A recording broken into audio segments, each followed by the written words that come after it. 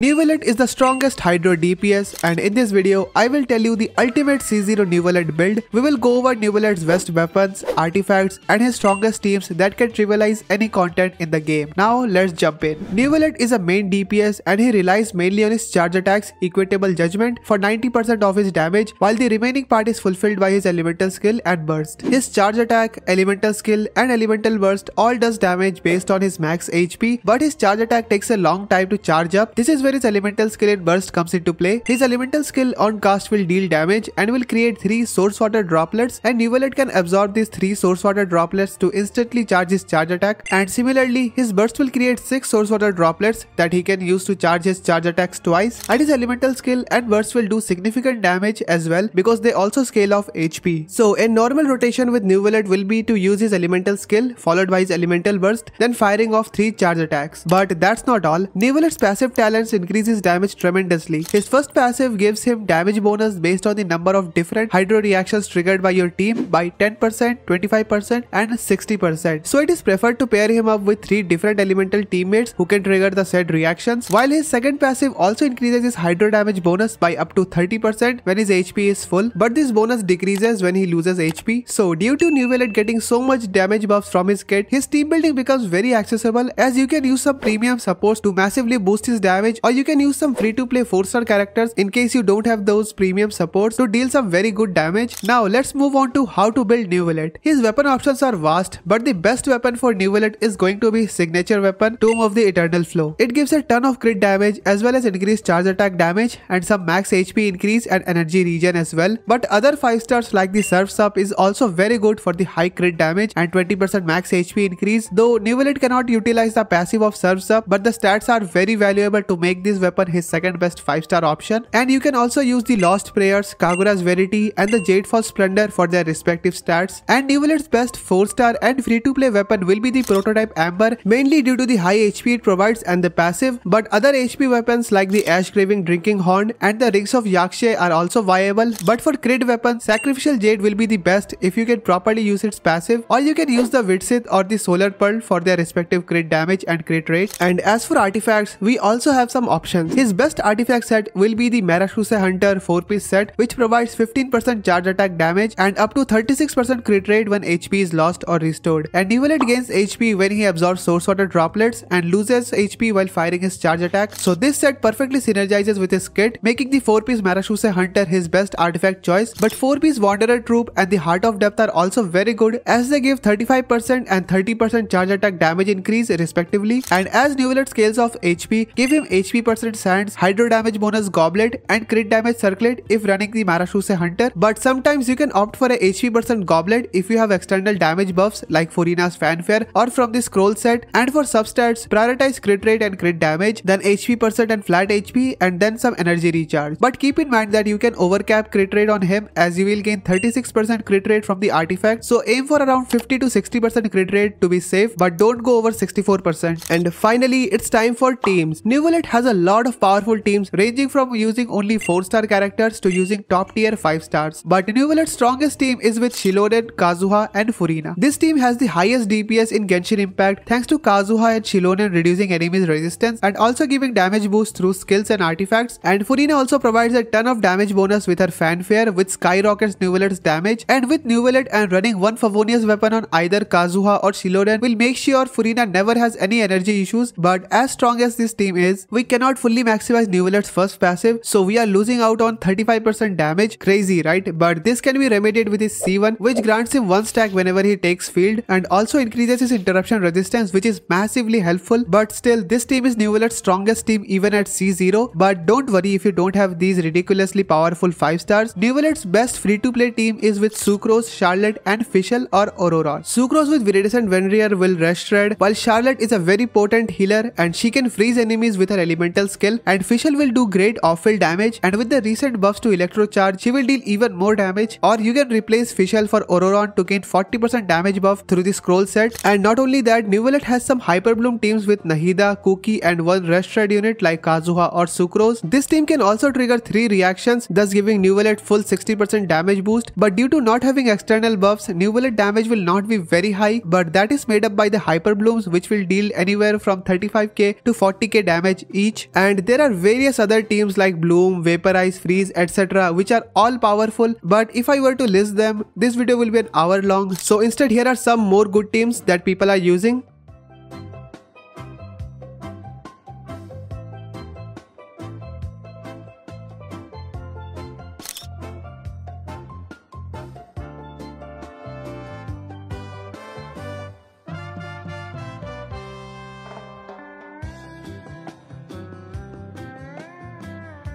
But remember one thing when building a good team, focusing on boosting Neuvillette's personal damage with supports is the best way to build a good team for him. So remember that. So Neuvillette has many amazing weapons, a lot of versatility when it comes to team building that makes him one of the greatest and strongest character in Genshin Impact. But just building Neuvillette and neglecting the super powerful supports who buff him is a huge mistake. So watch how to build those supports properly by clicking these videos and I will see you next time.